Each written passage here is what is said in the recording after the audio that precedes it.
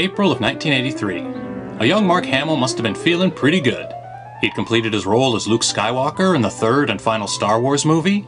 Currently, he was starring on Broadway as Mozart in the play Amadeus. So one day during the play's intermission or something, nerd boy Mark sneaks out to the comic book shop to stock up on his superhero fix. Inside West Side Comics, he saw something on the shelf that shocked and angered him.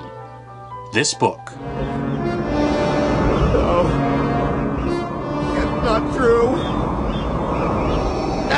Impossible! Marvel Comics' adaptation of Return of the Jedi. In full color, the entire story in one prestigious book. Only problem was, the book was being offered for sale a month before the film's release. Marvel Comics wasn't supposed to do that. The final installment of the Star Wars saga, Return of the Jedi, went into production under a massive cloak of secrecy. As all fans know, the working title was Blue Harvest. No one was trusted with a full copy of the script. Nobody will let me see this film. Nobody will tell me one word about it.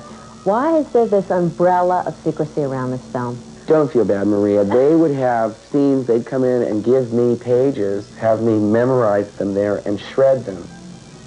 You know. Right like- on the spot. Yeah, it was like being in the Nixon administration. They couldn't even advertise the action figures. On the back of the card, the picture of the Ewoks was blacked out because Lucas didn't want you to know what they looked like until the movie came out. So the filmmakers put all that effort into keeping things quiet, but then a month before the movie comes out, Marvel publishes the entire story in a 64 page comic any bozo can breeze through in 5 minutes. All the secrets are in there. Clumsy Boba Fett dying, the revelation Luke and Leia are siblings, Darth Vader turning from the dark side of the Force and sacrificing himself to save Luke. Soon will I rest. Yes. Forever sleep. The only odd omission is Yoda's death scene. We see him yammering away at Luke, lecturing him about some shit, and in the next panel he's gone. And the caption just says, Luke leaves Yoda to much needed rest. I guess they wanted the kids to read between the lines. Yoda's taking the big sleep. Mark Hamill must have blabbed Lucasfilm, because the next thing you know, Marvel is going into full fledged damage control.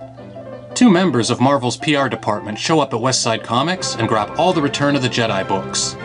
Store manager Dave Toplitz is quoted in the July 1983 issue of the Comics Journal, describing the encounter as kind of nice, but very threatening.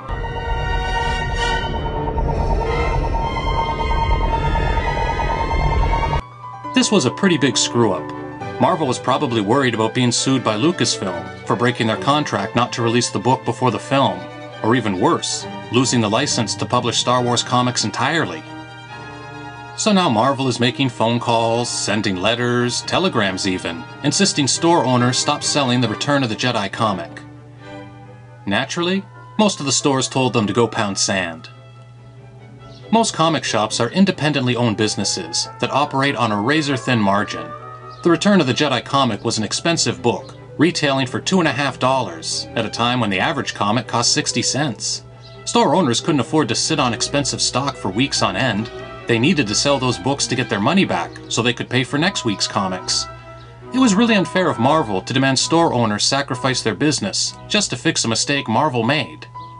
I'm sure that we can work out an arrangement which will be mutually beneficial and enable us to avoid any unpleasant confrontation. The comic stores had no agreement with Lucasfilm. Marvel didn't stipulate the books couldn't be sold until May 25th when they sold them. So once the comic shops had paid for the books, there really wasn't any legal or moral reason they couldn't do with them what they wanted. An estimated tens of thousands of copies of Return of the Jedi were sold, but that didn't seem to hurt the movie. It quickly became one of the highest grossing films of all time.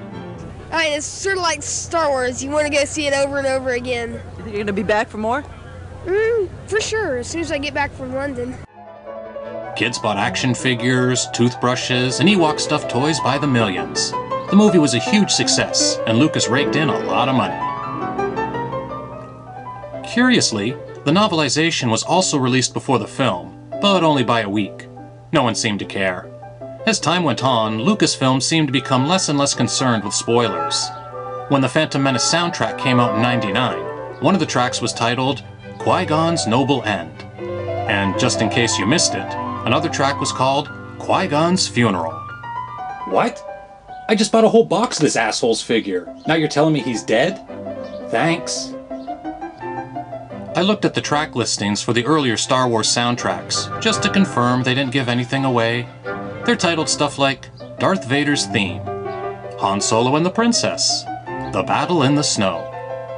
You'll notice none of them are titled something like Lando double crosses Han and Leia, or Vader is Luke's father, or even, in the next movie, you'll find out he's been kissing his sister. You think you're gonna be back for more? Mm, for sure, as soon as I get back from London. Shenanigans. It's been a lot of fun, shenanigans. But now we've got to run. It's funny how the minutes seem to fly.